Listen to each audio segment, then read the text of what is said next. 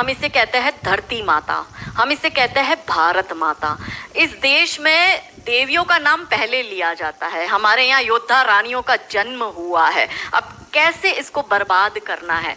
तो इसके मेन सूत्रधार है, पहला बॉलीवुड दूसरा टीवी सीरियल और तीसरा ओटीटी प्लेटफॉर्म मैं थोड़ा सा इसमें आपको डिटेलिंग में जाऊँगी कि 25 वर्ष तक की बच्चियों को, युवा बच्चियों को बिगाड़ने का काम जो है वो बॉलीवुड वाला करेगा।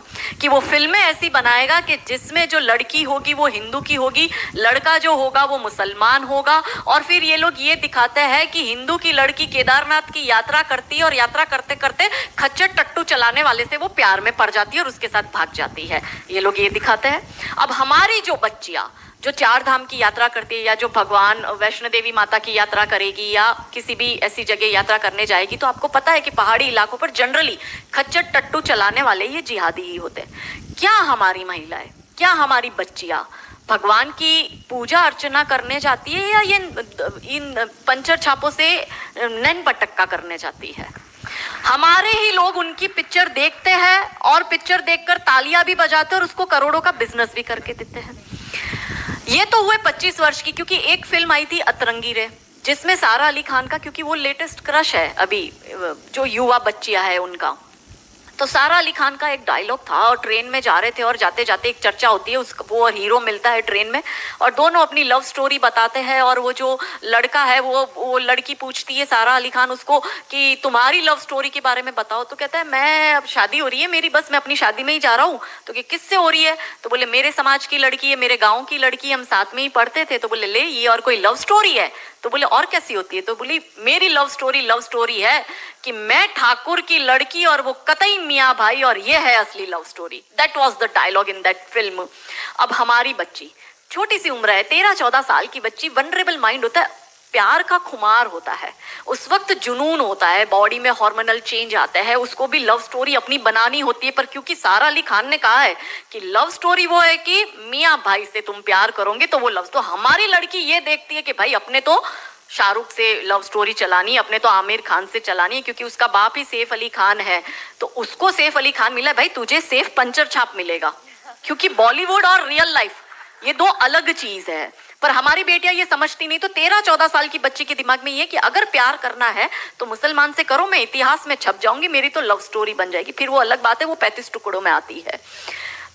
तीसरा, दूसरा, दूसरी दूसरी बात ये कि 25 साल की लड़कियों को ये बिगाड़ रहे हैं। 25 से 35 साल की शादीशुदा महिलाओं को बिगाड़ने का काम एकता कपूर जैसी महिलाएँ अपनी टीवी सीरियल के माध्यम से करती है। कैसे करती है? कि वो अपने टीवी सीरियल में एक महिला, बिल्कुल टिपिकल हमारे ड्रेसअप में, अच्छी सी साड़ी बड़ा बड़ा मंगलसूत्र, बड़ा सिंदूर, बड़ी बिंदी, पीछे अम्बे माँ का बहुत बड़ा स्टैच्यू होगा। आप देखना उसके सारे सीरियल में ये इंडिकेट्स होते हैं कि हिंदू धर्म को बर्बाद कर दो। देखिए, कोई भी देश को बर्बाद करने के लिए बम बारूद, गोला, असला, मिसाइल दागने की ज़रूरत नहीं है। आप उस देश की सांस्कृतिक व्यवस्था, शैक्षणिक व्यवस्था और पारिवारिक व्यवस्था को खत्म कर दो, वो देश अपने आप खत्म हो जाएगा। यही षड्यंत्र चल रहा है। तो इस देश में महिलाओं और बेटियों के दिमाग को खराब कर दो, क्योंकि हम परिवार व्यवस्था में समझते हैं तो जो बेटी हमारी, आज हमारे घर की बेटी वो किसी के घर की बहू बनेगी और वो दो परिवारों को जोड़ती है तो उन परिवारों को बर्बाद करने का षड्यंत्र चल रहा है। तो होता क्या है? दिखाएँगे क्या सीरियल में? प्यार एक से करेगी? शादी दूसरे से करेगी, फिर जीवन में कोई तीसरा आएगा, दूसरा मर जाएगा, फिर चौथा पसंद आएगा, फिर दूसरा जो मर गया वो ज़िंदा हो जाएगा, फिर कंफ्यूज हो जाएगी, चौथे के साथ जाओ कि दूसरे के साथ जाओ। यही दिखाती है वो, क्या सच में यहाँ जो मेरी महिला, मेरी बहनें बैठी वो बताओ कि क्या हम हिंदू महिला है? चार चार पुरुषों के साथ संबंध रखती है, बताओ, ज़ोर से बोलो। क्या हमारे परिवारों में ये होता है कि हम एक को पसंद करते हैं, हम दूसरे से शादी करते, फिर हमें तीसरा पसंद आता है, फिर हमारा मर जाता है पति, फिर हमें चौथा अच्छा लगता है, और जो मर गया पति वो सडनली ज़िंदा हो जाता है, फिर हम कंफ्यूज होते हैं, हम किसके साथ जाए? क्या हमारी ये वैल्यू है? यही सीरियल हम देखते हैं और हम तालियाँ बजाते और हम हमारी बेटियों को भी यही टीवी सीरियल दिखाते और इन सारी टीवी सीरियल में एक ही चीज़ कॉमन क्या है? जो सास है वो एक नंबर की नालायक। जो ननंद है वो एक नंबर की नालायक, और ये दोनों बहू के खिलाफ प्लानिंग करेगी। तो अब जो वनरेबल बेटी अपनी माँ के साथ वो टीवी सीरियल देख रही है, उसका दिमाग कैसे खराब होता है? उसको पहले से ही, जैसे अनकॉन्शियस माइंड में चीज़ें कैसे काम करती है, उसको दिमाग में पहले ही बैठ जाएगा कि मेरी सास भी मुझे ऐसी ही मिलेगी।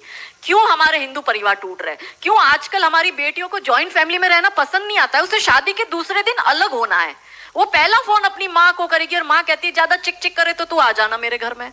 हमारे माता पिता ने हमें ये सिखाया था कि तेरी डोली उठ रही है, तू इस घर में है, वापस तभी आएगी जब तुझे प्यार से आना है। तू तेरी अर्थी वहीं से ही उठेगी, हमें तेरी घर में एंट्री नहीं देंगे। ये हमें बचपन में सिखा दिया गया था। इसलिए आज भी हम जॉइंट फैमिली में रहते हैं, हम ससुराल में रहते हैं। भारतीय सांस्कृतिक व्यवस्था पारिवारिक व्यवस्था को हमने बनाए रखा है। फिर एकता कपूर क्या करेगी? अनुपमा जैसी सीरियल में, ये एक ऐसी सीरियल है, इसमें इतने ब्रेकअप और इतने डिवोर्स दिखा दिए कि इतने तो मुझे लगता है यहाँ जितनी मेरी बहनें और जितने मेरे भाई बैठे इनके जान पहचान परिवार पूरे खानदान में नहीं हुए होंगे, इतने उस एक सीरियल में दिखाए। अब हमारी बेटी जो वहाँ जाती है, उसको लगता है मेरी नणन नालायक, मेरी सास नालायक, इसलिए अब देखो सास बहू में निपती नहीं। पहले कैसे निपती थी? पहले कैसे रहते थे? और तीसरा, जो मैंने कहा ओटी थी पैंतीस से पैतालीस वर्ष तक की महिला, जो कि वर्किंग विमेन है, जो जॉब करती है, उस महिला को कैसे दिमाग खराब करना है? फेमिनिज्म के नाम के पर यदि आप नौकरी कर रही है तो आपको परिवार नहीं चाहिए, आपको पति नहीं चाहिए, आपको सास ससुर नहीं चाहिए, वो सब आपके पैर की जूती, क्योंकि आप वर्किंग विमेन है। आप नौकरी कर रही है और एक हाथ में दारू का ग्लास, दूसरे हाथ से सिगरेट फूको अंग्रेज़ी में बड़ी बड़ी गालियाँ बको और आप अपने आप को फेमिनिस्ट कहो। क्या ये फेमिनिज्म है? ये फ़िल्म क्यों नहीं बनाते नायिका देवी पर दुर्गावती पर रानी कमलावती पर रानी चिन्नमा पर रानी अब्बका पर रानी लक्ष्मीबाई पर। ये ऐसी फ़िल्म क्यों बनाते हैं?